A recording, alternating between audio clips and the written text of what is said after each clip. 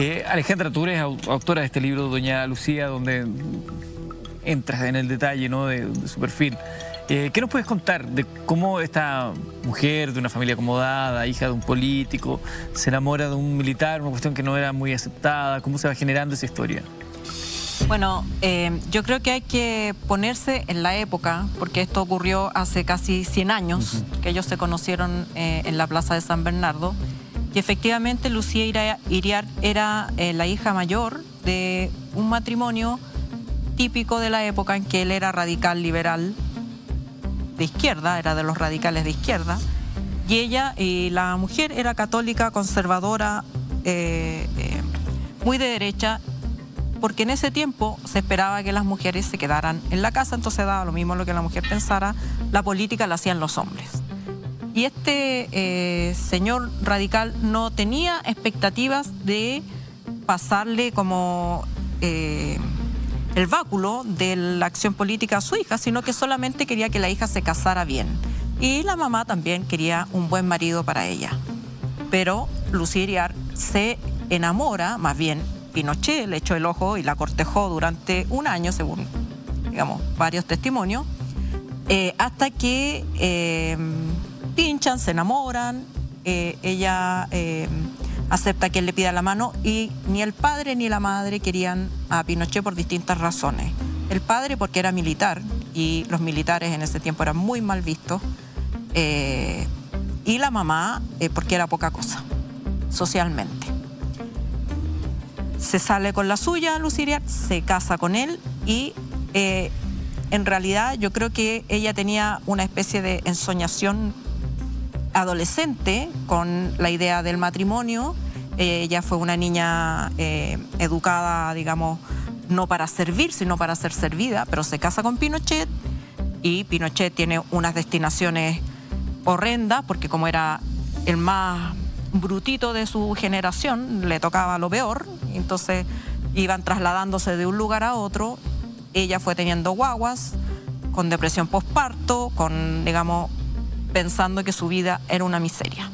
Entonces ella empieza, con la ayuda de su padre, a forjar un ascenso de Pinochet que por sí solo él nunca hubiera tenido. Y además tampoco aspiraba, porque como el propio Pinochet decía, él con llegar a coronel, si es que hubiera llegado, se sentía ya pagado. Eh, y entonces ella lo empieza a, empujar para que este marido eh, que, eh, digamos, resultó ser una decepción, se convirtiera en una mejor cosa que ella se sintiera cómoda.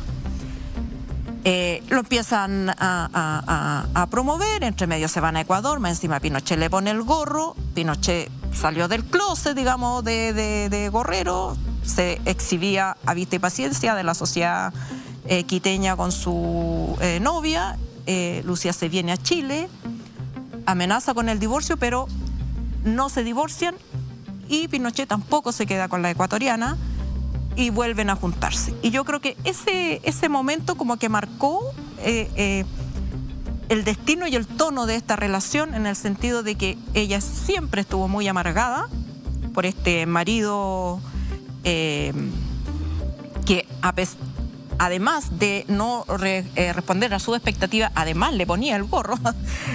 y como no existía en Chile esa idea de que se pudiera divorciar y en la sociedad chilena era muy castigado, no se divorció, se quedó con él, tuvo más guaguas y cuando llega eh, la cuando llega Allende al poder, ella eh, tiene una oportunidad de, eh, de, que su marido avance más. Y yo creo que ahí ella eh, digamos, descargó toda su energía en eso, en estar siempre más, más, más arriba. Y cuando Allende eh, eh, Prats lo, nombra primero comandante de la división y después comandante y jefe del ejército, ellos estaban en las nubes y eran de los, de los más allendistas que podía haber. Incluso incomodaban a Prats y a otros funcionarios de Allende porque trataban de socializar y estaba, eh, digamos, en la mirada constitucionalista, los militares tenían que prescindir de política, no pueden andarse tomando un tecito y, un cafecito eh, con las autoridades de gobierno, pero eh, Lucía eh, llevaba a Pinochet y se dejaban caer en la casa de Jaime, Jaime Toá o en la casa de, Orlando Letelier y eran en la visión de todos ellos y, de las personas que los conocieron muy rastreros, muy, y, digamos, le hicieron un tecito a Sofía Prats cuando fue humillada por la derecha, eh, digamos, eran muy abiertos, proclives a Allende. Y cuando viene eh, eh, la conjura, que está muy bien descrita en el libro de Mónica González, la conjura, todo lo, que se organizó, los que organizaron el golpe, no estaba Pinochet precisamente porque los golpistas lo consideraban un, un allendista. Y en el último minuto, como 48 horas antes de que se produzca el golpe, Merino y Lee le mandan una notita, ¿te vas a subir o no te vas a subir al carro? Y ahí eh, fue clave, eh, Lucía, eh, yo creo que esa escena la inventaron, ¿ah? yo creo que esa escena, no hay más testigos de la escena de que, ah, mira a tus hijos, así como, es como un mito creado, digamos, no, no creo que haya ocurrido esa escena, pero sí ella valida que Pinochet se sume a los eh, conspiradores a pesar de que ella es la que traiciona. Ella traiciona a su padre, traiciona a sus primos, a sus tíos y a todas sus generaciones anteriores que eran todos de izquierda en Chile. Pinochet no traiciona a nadie porque Pinochet venía de Chanco y en realidad no tenía ni alcurnia ni nada, entonces Pinochet, digamos, trataba de sobrevivir. Pinochet es un sobreviviente. Ella es la que quería poder y aspiraba más. Perdón, y esa, ese instar a que Pinochet se, subiera al, golpe tenía que ver más que con una cuestión política, tenía que ver con la posibilidad de escalar aún más, ¿no? Yo creo que ella estaba motivada por sus propias frustraciones eh, eh, personales, eh, como las tiene todo el mundo. Lo que pasa es que si Lucía Iriar hubiera sido un matrimonio de un militar cualquiera, digamos, en una casa, en una villa militar, nadie se hubiera enterado de lo que le pasaba, ni lo que le dolía, ni lo que importaba. Lo que pasa es que a este matrimonio le dieron el poder total. Entonces, ¿qué hacen las personas cuando tienen el poder total? Abusan de él. Por eso, eh, digamos, por eso se inventó la democracia, porque no, tú no, no existen los santos en el poder. Si tú le das el poder total a alguien, va a abusar. Y ellos abusaron de su poder. Y ella lo usó para cobrarse de todo lo que eh, Pinochet le había negado como marido. Esa, digamos, era su, su, inspiración básica. Carmen, eh, desde el punto de vista de la expresión de poder de Lucía Iriar en la práctica, ¿qué nos podrías decir tú de cómo se veía ella en términos de las decisiones que ella tomaba y que terminaban haciendo eco en Augusto Pinochet?